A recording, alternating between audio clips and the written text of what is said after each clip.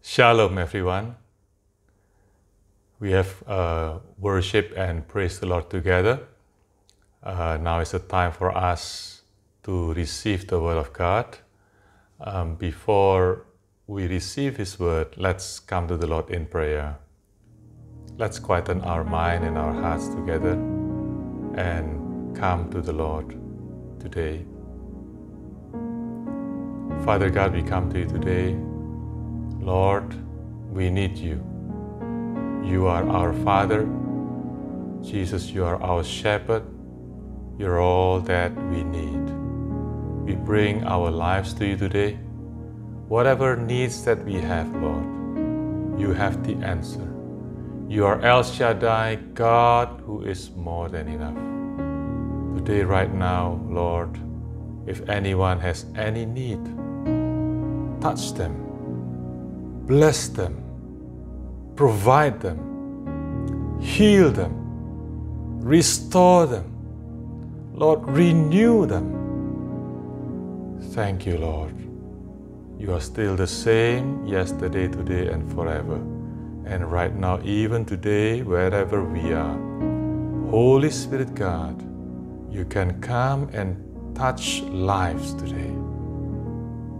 Make them know that you love them, that your love is still the same even today. And let us be filled with your love, abiding in your love, rooted and grounded in love. And with that, we can bear fruit for the glory of God. Bless your word and bless this time. In Jesus' name we pray. Amen. Amen. Praise the Lord. Now, today, the title of the word that I'm going to share is Together We Find Christ's Love. Now, togetherness is God's plan and God's design. God describes His church in the Bible as the body with many members. Each one of us has a different function in the body, and we need to join together. Uh, if imagine if the hands are working alone, or the arms working alone, or the legs separated from the body and want to walk alone, it won't work and it would be very scary. But when the whole member of the body join together, the arm, the hand, the leg, the body, all functioning together as intended, and it's, that's a description of uh, the church of God, the body will function and can perform uh, big things, great things. And in the same way, if we all as a body of Christ are together, knitted together, joined together in the love of Christ, and we function together, then we can do great things for the kingdom of God. Uh, piles of stones, if they are just uh, dumped uh, on the ground, that become rubbles. But if the stones are arranged together, built up together, it becomes the house of God. And we are the stone that will be built together to make up the house of God. The Bible says about the church as an army of God. It's not just individual uh, soldier, but it's an army. As a family, it's not just a people who stay together in one place, but a family who care for one another, who love for one another, who uh, support one another as a family. The Bible says in Ecclesiastes chapter 4, verse 9 until 12, two are better than one because they have a good return for their labor. If either of them falls down, one can help the other up. But pity anyone who falls and has no one to help them up. Also, if two lie down together, they will keep warm. There is a warmth, the love of God when we are together. But how can one keep warm alone?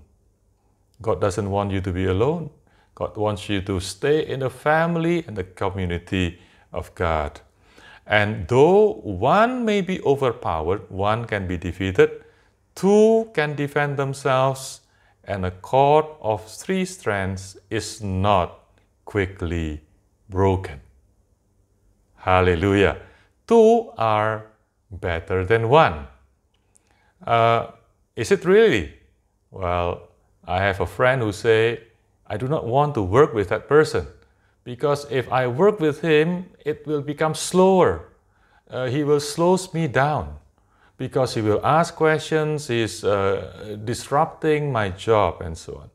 So, two may not be better than one if the two people don't care for each other, or they are not balanced, or they are uh, the two people who are seeking their own interest, and maybe one try to utilize the other for his or her own good intent, yeah, for uh, the selfish purpose, and you know uh, the two will not become better if they are not united in love. But when two people are together united together with one purpose and one heart, something great can happen. Now, there's a story about Jonathan and his armor bearer. You know, in the first uh, Samuel chapter 14, verse 6, yeah, at that time, Jonathan and his armor bearer with the whole Israel facing the enemy. And then uh, Jonathan uh, went out with his uh, young man, his armor bearer, and then he said in uh, 1 Samuel 14, verse 6, Come, let us go over to the uh, garrison of the enemy. It may be that the Lord will work with us, will work for us, for nothing can hinder the Lord from saving by many or by few. Basically, Jonathan said, if God with us, whether we are many or we are few, doesn't matter, because God will overcome, will defeat our enemies.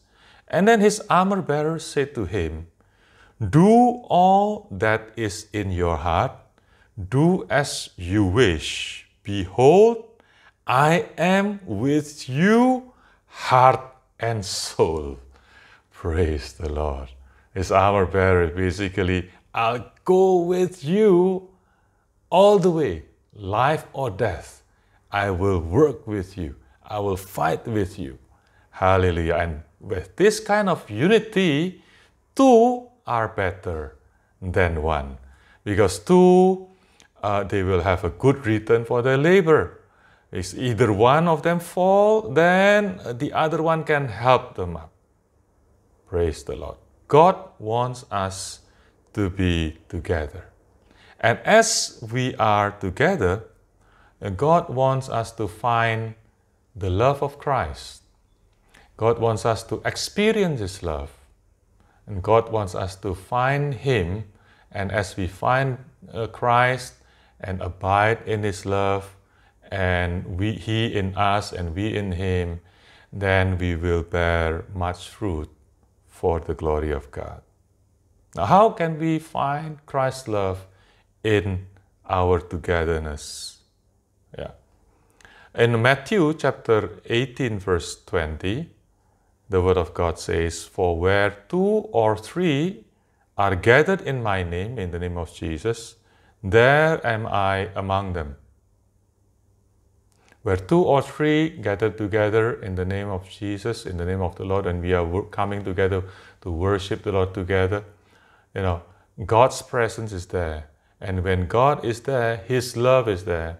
And He can fill you with His love. He can touch you with His love. He can fill your life with His presence. And the Bible talks about worshiping together. Sometimes we can worship the Lord alone. We can sing to the Lord alone. We can praise the Lord alone. We can pray to the Lord alone. But something happens when we come together as a family, as a congregation in a corporate worship. Psalm chapter 34, verse 3 says, Oh, magnify the Lord with me, and let us exalt his name together.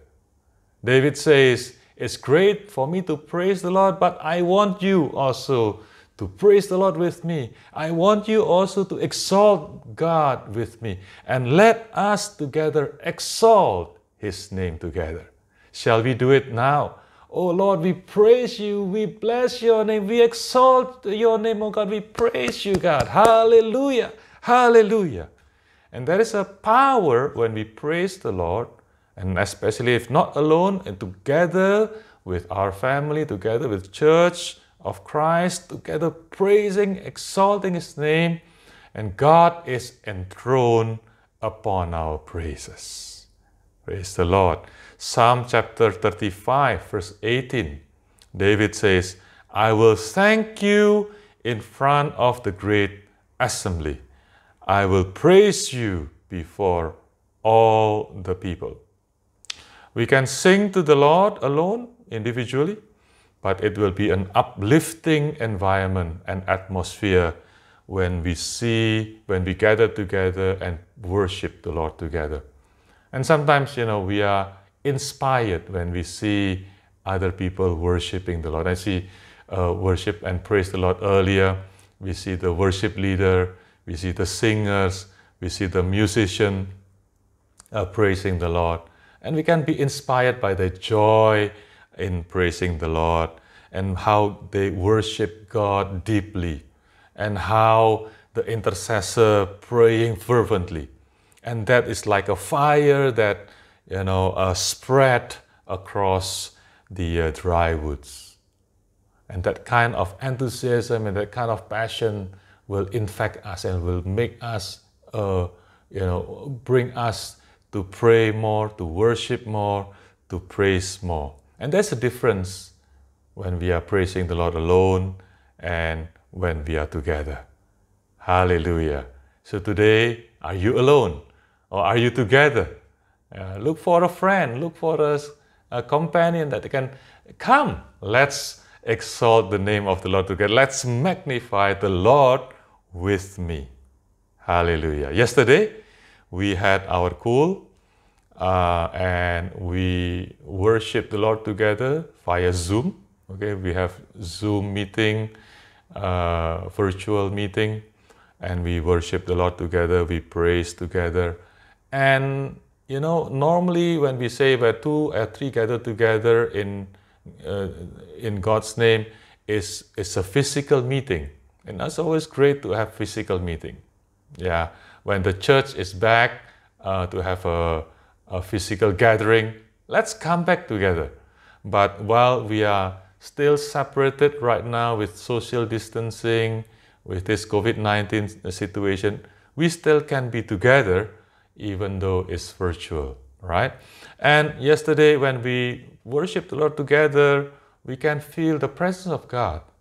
We can feel the touch of God. And in our place, we can feel, you know, God's presence and God's love.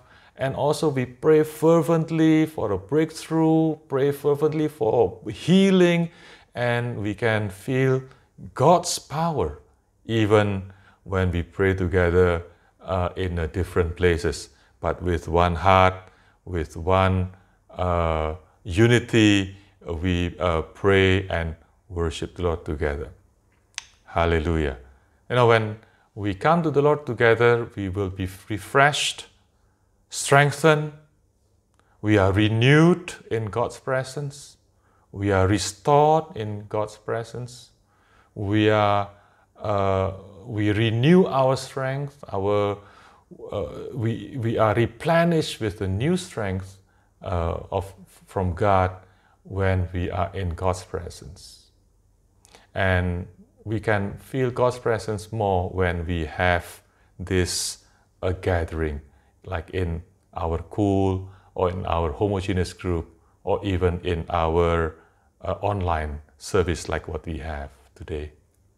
That's why in Hebrew chapter 10, verse 25, the Bible says, Let us not neglect our meeting together, as some people do, but encourage one another, especially now that the day of his return is drawing near.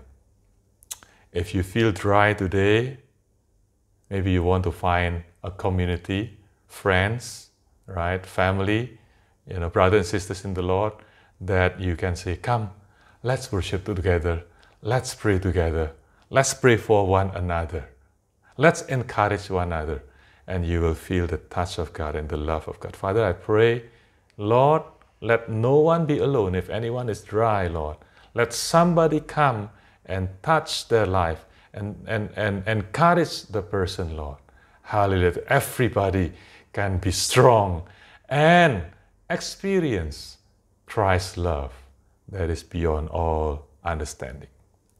So, number one, in corporate worship, when we are together praising and worship the Lord, we can feel the presence of God. And number two is when we are loving and serving one another. In the Bible, right, there are many scriptures talking about one another. Pray for one another. Encourage one another. Carry each other burden. Hallelujah. Serve one another. Hallelujah. Praise the Lord. Now, God is in heaven and God is spirit and he cannot be seen. Yeah. Um, when we feel the presence of God, we can feel the touch of God. Yeah. But more often than not, God wants to work through his children, through his disciples. And Jesus command, commanded his disciples that we should love one another, that we should love for one another, not just as how we feel like it. Uh, today I want to love at this much. The next day I am not in a good mood, I have a difficulty and so on, so I love less. No, Jesus say you should love one another as I have loved you. And as we receive the great love of God, yeah, uh, the overwhelming is a, flood love of God, then we can love other people. If you are dry, if you don't have enough love, how can we love other people? We need to be filled with God's love. But as we receive God's love and we walk in His love, then we reflect His love by loving other people, loving your brother and sisters. And we love others even to the extent as Jesus did love his disciples, love you and me. He said, No greater love than this, that a man should give his life for a friend. We receive love from others in a community. In our togetherness, we receive the love from others. We receive cares from other people. We receive a, a encouragement from other people. We receive comfort from other people. And as we grow, not only we receive, but we also want to give. As we become mature, we want to give because we know that it is more blessed to give than to receive. And then we want to care for other people. We want to carry other uh, people burden. We want to encourage other people. And with that, we experience God's love. We experience God's love we, as we are encouraged by other people, as if God speaks to us, but He speaks to us through another person. We receive comfort from other people as if God comfort us, but it's through our brothers and sisters. And with the same way, we want to bless other people. We want to uh, accompany those who are uh, lonely. We want to comfort those uh, who are in sorrow uh, because of discouragement or disappointment and so on. And as we do that, that's why two are better than one. Because when you are fall, when you fall, somebody can lift you up. If you are weak, somebody can strengthen you. And at the same time, when you are strong, you can carry other people's burden. God wants you God wants us to experience His love through our togetherness in the body of Christ from your brothers and sisters in Christ the Lord, Christ Jesus. Now experience love from one another. And that's why find the community where it suits you, whether it's a community of love, cool, cell group, or it's a homogeneous group, and so on. Don't be alone because through this togetherness, we can feel, uh, we can experience God's love uh, that is uh, channeled through other people to us. And we also can become the channel of God's love to other people. And with that, we can find and experience Christ's love. So, number one, we experience or we find Christ's love in corporate worship when we are together worshiping the Lord. And number two, when we love one another, when we serve one another, when we care for one another, when we comfort one another, we can experience Christ's love. And lastly, Christ's love is not only for us alone. Christ's love is reaching out to the lost, reaching out to the sinner, reaching out to those who are walking towards destruction, who are walking in the kingdom of darkness. And we want to bring light to them, we want to bring good news to them, we want to bring God's love for them, that they will experience God's love as we have experienced. You know, the heart of Jesus is always for the lost.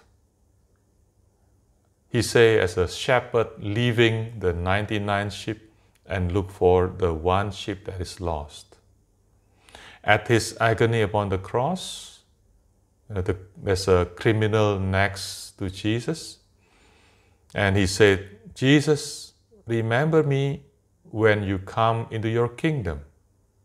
And Jesus replied him, I assure you, today you will be with me in paradise. That man maybe has a broken life all, you know, his life such that he deserve, you know, crucifixion punishment.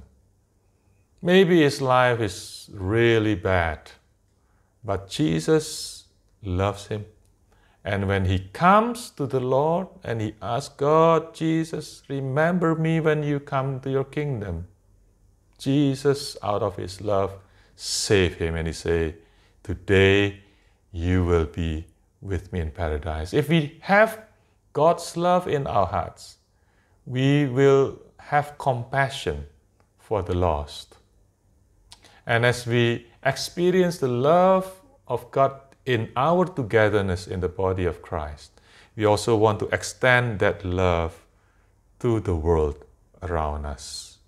God wants us to go out together as one army of Christ to defeat the kingdom of darkness and bring the kingdom of God to come and the will of God to be done on earth as it is in heaven.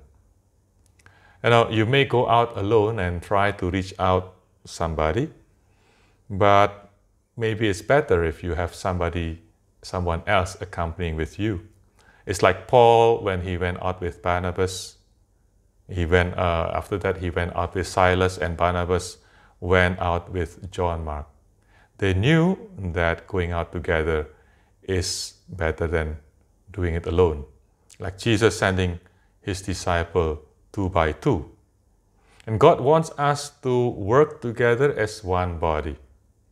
You know, uh, maybe one person has a gift of uh, uh, leading, another one, another one has a gift of exhortation, another one have a gift of serving, another one may have a gift of caring, and then together they serve one person that need Jesus, and that person can find Jesus because this group of people have the love of God bring the good news, bring the love of God, and share the love of Christ to this person.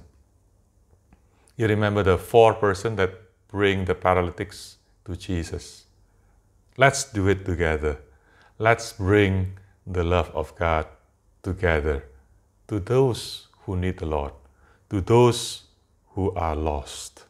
And as we share the love of Christ, we will receive more of His love and we will experience more. And it's always amazing to see someone receive Jesus as his Lord and Savior and born again and get saved. It's always the greatest miracle. And perhaps we can do more when we are doing this work together with our brothers and sisters. Uh, I want to share a testimony. Uh, one of our cool member uh, was having a difficult situation uh, early this year or maybe last year. Uh, things didn't work out for her, and she had a heartbreaking situation. And she was withdrawing herself from the cool. We tried to invite her, uh, but she didn't feel like coming uh, to the fellowship. And uh, this is what she wrote you know, I was already in the cool, but at the time I didn't feel like going to cool meetings. After rejecting lots of cool meeting invitation, one day I decided to come. And then everyone in the cool in the cell group meeting prayed for me. And I felt I got some strength back after that meeting. After the time, I really experienced how this word of God is truly happening to me. He, she quoted from Psalm 40, verse 2 He lifted me out of the pit of despair, out of the mud and the mire. He set my feet on solid ground and steadied me as I walked along. Wow. She felt like she's being lifted up out of the pit of despair, out of mud, out of mire. And then she can carry on uh, saying that the cool friends keep praying for me. Even until now, we pray for each other, and I'm grateful to God to let me have them in my life. Glory to God that He does not let my foot slip, that He watches over me, does not slumber nor sleep. Hallelujah. Praise the Lord. Isn't it great testimony? I actually asked her to share in a short video clip, but she sent this in writing instead. And I would like to encourage you today. Have you found Christ's love in your life? Maybe you have, you are safe, but you know, if you are getting dry, you should look for a community where you can join together in uh, worshiping God, praying together, praising together, giving thanks to the Lord, sharing testimony that encourage one another. And with that, you can experience God's presence. And may God's presence touch your life, uh, encourage you, bring you up, giving you new hope, uh, you know, strengthen your faith and you can see with God, nothing is impossible. Hallelujah. And then when you are together, you can experience like what uh, this uh, person experienced. She was in a despair, she was, you know, in a difficult situation, and then somebody come and encourage her. Somebody come and pray for her. Somebody come and uh, invite her to come back to the family family of God. Somebody come and uh, comfort her and uh, cheer her up and accompany her, and then she is back in the family of God. If you are alone and you are weak, like the Ecclesiastes say, uh, woe is the one who fall and alone. Don't be alone today. Don't be alone and find somebody that uh, a community, a group that you can grow together, and then with that, you can experience God's love And with that, also, you can share Christ's love to the lost, those who need to hear the name of Jesus, those who need to experience God's love. Hallelujah. Shall we pray? Father, I pray, Lord, today that no one in the family of God, in the church of God, is alone. Lord, the world can be very challenging, very difficult for us. The devil is always prowling around, Lord. But as we are together, where two or three gather together in your name, you are there with us. And we uh, share our life with one another, strengthen one another, encourage one another, build up one another, serve one another, pray for one another, believing for one another. Oh, it's like the uh, Jonathan uh, uh, and his armor bearer together and they do great things. Father, I pray, Lord, unite each and every one of us to the body of Christ as a member to the body, as a stone to the uh, building, as a family member to the family of God. And in that we find Christ's love and we are uh, growing together to become to uh, bear fruit for your glory. Bless everyone today. In the name of Jesus, we pray and give thanks. Amen. Amen. This Sunday is a Holy Communion Sunday, so you can prepare the bread and wine or grape juice uh, at your home that we can uh, partake in this Holy Communion together uh, representing our fellowship with the body and the blood of Jesus Christ. You can prepare now. Are you ready? Hallelujah. Let's uh, come to the Lord in prayer. Thank you, Lord, for uh, your body and your blood, Lord, represented in the uh, or symbolized in the uh, bread and wine that we are going to partake. Lord, we want to come to you in a worthy manner. Cleanse our life. Forgive our sins, Lord, that we come to you worthy and partake in this Holy Communion with you. Bless everyone who partake today in the name of Jesus. Amen. Amen.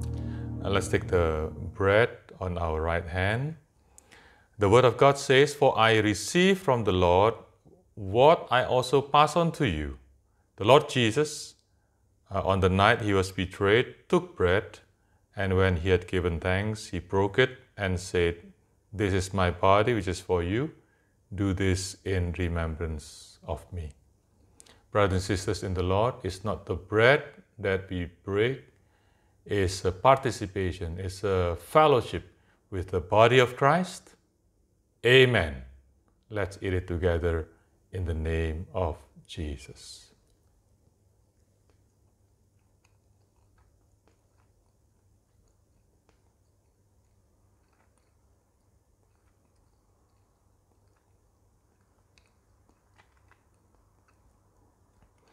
Thank you, Lord.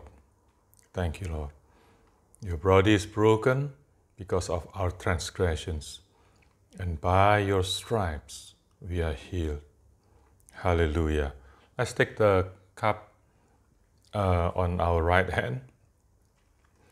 And in the same way, after supper, Jesus took the cup and saying, This cup is the new covenant in my blood. Um, do this whenever you drink it in remembrance of me.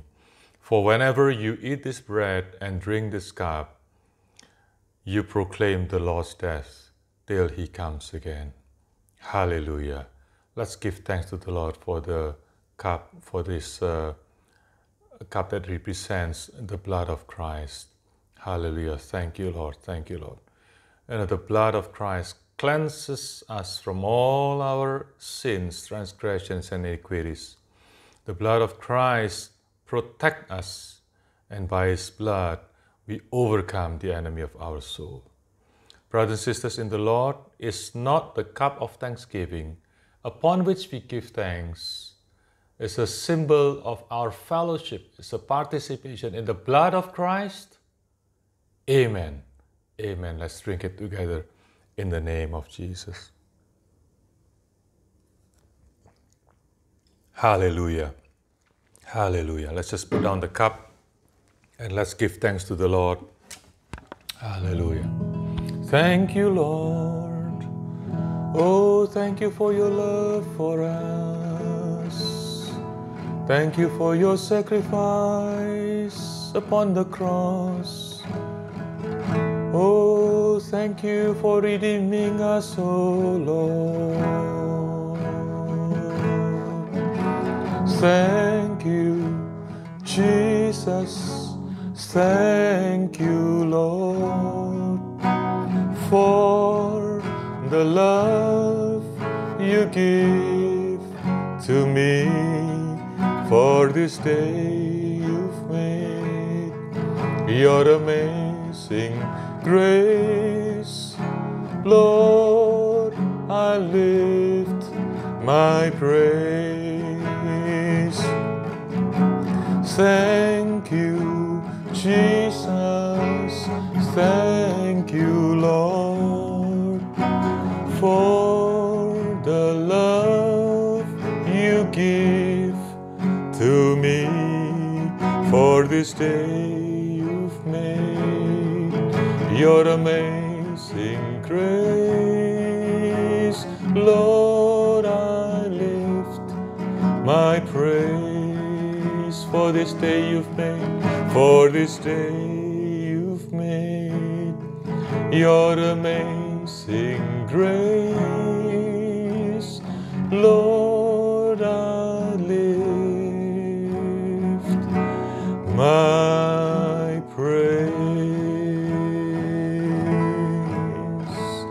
Hallelujah. Bless your people, O Lord. Bless everyone. Every man, every woman, young and old. Bless every family. Protect them, Lord, by the blood of Christ. In the name of Jesus, we pray and give thanks. Amen.